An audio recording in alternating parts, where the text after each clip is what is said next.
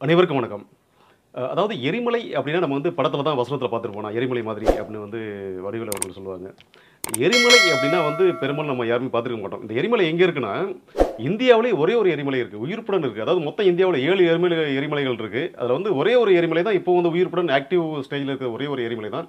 அந்த எரிமலை எங்கே இருக்குன்னா உங்களுக்கு வந்து பேரன் ஐலாண்ட் அதாவது இந்தியாவுடைய அந்தமான் நிக்கோபார் த இருக்கு இல்லையா? அந்த அந்தமான் நிக்கோபார் தலைநகர் போர்ட் நூற்றி முப்பத்தஞ்சு கிலோமீட்டர் தொலைவில் இருக்குது அந்த பேரன் ஐலாண்ட் அப்படிங்கிற எரிமலை. அதாவது தெற்கு ஆசியாவிலேயே அந்தமான் மட்டும் இல்லை தெற்கு ஆசியாவிலேயே இந்தியாவில் மட்டும் இல்லை தெற்கு ஆசியாவிலேயே வந்து ஒரே ஒரு உயிருள்ள ஒரு ஆக்டிவ் ஸ்டேஜில் உள்ள எரிமலை எதுனா பேரன் ஐலாண்ட் பேரன் ஐலாண்ட் அப்படின்னா மலட்டு தீவுன்னு சொல்லுவாங்க. தமிழில் வந்து மொழிமாற்றம் பண்ணால் மலட்டு தீவு அப்படின்னு இது சொல்லுவாங்க.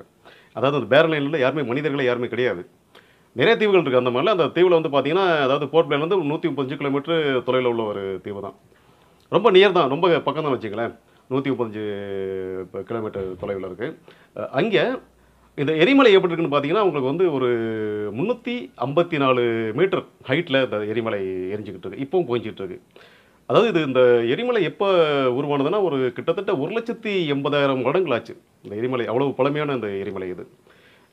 இந்த எரிமலை பார்த்தீங்கன்னா உங்களுக்கு வந்து அதாவது சுமத்ரா பர்மா அந்த போகிற வழி இருக்கு இல்லையா? அந்த வழியில் தான் அந்த எரிமலை தீவு இருக்குது பேரன் இருக்குது இந்த எரிமலை பார்த்தீங்கன்னா உங்களுக்கு வந்து ஆயிரத்தி எழுநூற்றி எண்பத்தி ஏழாவது வருடம் இது வந்து ஃபஸ்ட் ஃபஸ்ட் வெடித்தது முதல் முதல்ல வெடிச்சது ஆயிரத்தி எழுநூற்றி எண்பத்தி ஏழாவது வருடம் ஃபஸ்ட்டு வெடிச்சது. அதுக்கப்புறம் வந்து அது சரியான தகவல்கள் இல்லை.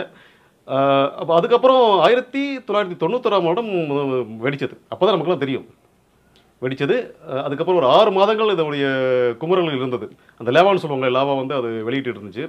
ஆறு மாதங்கள் வந்து அதோடைய குமரியபடி அந்த எரிமலை இருந்துச்சு.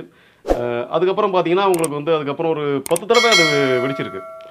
சமீபத்தில் ஒரு ரெண்டாயிரத்தி பதினேழாம் வருடம் வெடிச்சது மறுபடியும் வெடித்தது ஆனால் யாருக்கும் எந்த பாதிப்பும் கிடையாது. இந்த எரிமலைனால யாருக்கும் எந்த பாதிப்பும் கிடையாது. ரொம்ப போர்ட்லேயே ரொம்ப பக்கத்தில் தான் இருக்குது அப்படி பக்கத்தில் இருந்தாலும் எந்த பாதிப்பும் கிடையாது. நூற்றி முப்பத்தஞ்சு கிலோமீட்டருக்கு ரொம்ப பக்கம் தான் வச்சுக்கலாம் அதாவது இப்போ சென்னையிலேருந்து நூற்றி முப்பத்தஞ்சு கிலோமீட்டர் எத்தனை எவ்வளோ தூரம் இருக்கும்? ரொம்ப கிட்ட தான் அதாவது இந்த எரிமலையை வந்து பார்க்கலாம்.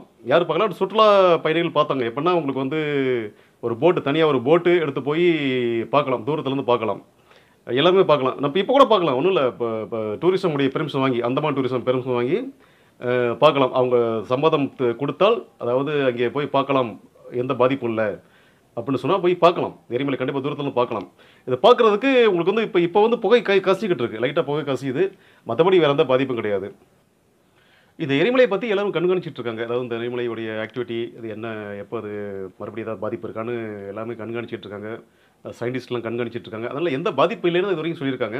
இதெல்லாம் எந்த ஒரு பாதிப்பும் கிடையாது. ஏன்னா வந்து ரொம்ப ரொம்ப பக்கத்தில் தான் அந்த எரிமலை இருக்குது ஸோ இந்த பேரன் ஐலண்ட்னால எந்த ஒரு பாதிப்பும் கிடையாது. இப்போ கூட லைட்டாக புகஞ்சிட்டு இருக்குது ஆமாம் அதாவது இந்தியாவில் உள்ள ஒரே ஒரு எரிமலை இந்த பேரன் ஐலாண்ட் இந்த எரிமலை பற்றி சில தகவல் நீங்கள் வந்து தெரிஞ்சுக்கிட்டீங்க. இது ஆதவன் இடங்கள் நான் உங்கள் ஆதவன். சப்ஸ்கிரைப் பண்ணாதவங்க கீழே உள்ள பட்டனை எடுத்து சப்ஸ்கிரைப் பண்ணிக்கோங்க. நன்றி வணக்கம்.